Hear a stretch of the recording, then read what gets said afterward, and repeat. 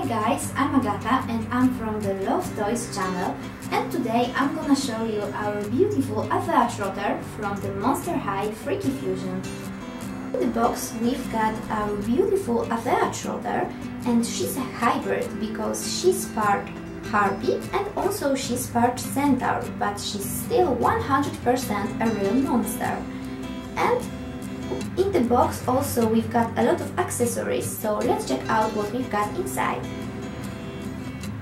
So here we've got our beautiful Avea Trotter and let's take a closer look at her. So she has a, an amazing blue hair and also she has a blue tail and as we can see she has a lot of accessories. We can see on her head a beautiful black hat with some pink accent that matches her also pink jacket. So she has also a black belt just right over here and she has a beautiful blue shirt.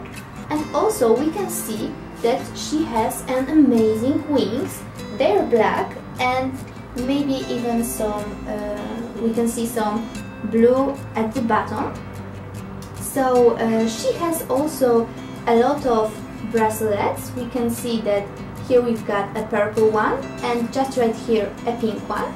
And also she wears an amazing black gloves on her both hands.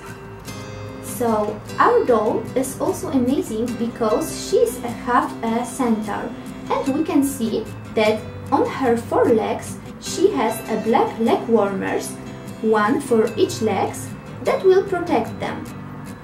And she comes with a lot of accessories. We can see that here she has a beautiful yellow hairbrush, so we can brush her hair many times. And also she has a special diary where we can read all about her, about her stories and adventures and thanks to that we can get to know her better. We've our amazing Avea Trotter from the Monster High Freaky Fusion and in my opinion she's a really great doll because she has an amazing outfit and so I guess that you will enjoy your doll so in meantime just watch our next reviews from our channel Love Toys. Bye!